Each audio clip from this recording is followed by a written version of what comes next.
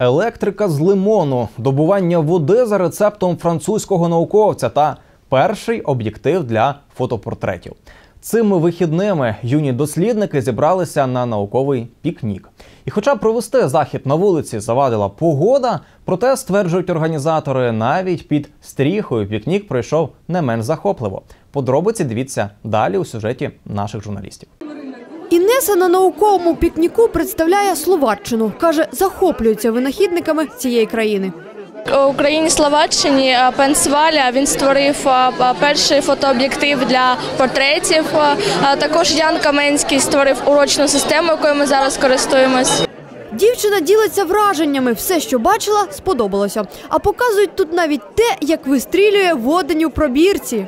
Ми намагаємося е, добути воду, як е, добував її Антуан Лавуазі, це французький хімік.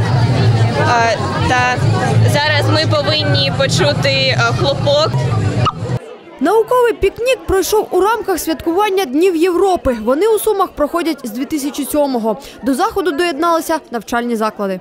Показують різні експерименти та винаходи. А, Деякі з них пропонують власні експерименти та винаходи. Ну в такому форматі, начебто, показати науку більш з популярної точки зору. На меті наголошують, щоб люди зрозуміли, що наука цікава не тільки для ботаніків. Об'єктом наукових досліджень стали навіть звичайні лимони. Получается почти 4 вольта. Мощность одного лимона равна. На практичні винаходи надивилися юні сумчани. Показували на фруктах електрику проводить як. можна знайти нових друзів, навчитися багато новому, і це дуже гарно. Дуже багато е, е, емоцій. Е, Ми тут були у різних країнах, на різних конкурсах. Діти кажуть, хотіли б, щоб такі заходи відбувалися частіше. Організатори ж зізнаються, планують експериментувати з форматами. Так людям буде цікавіше. Наталка Лесик Карбовська, Олександр Білявський. Новини СТС.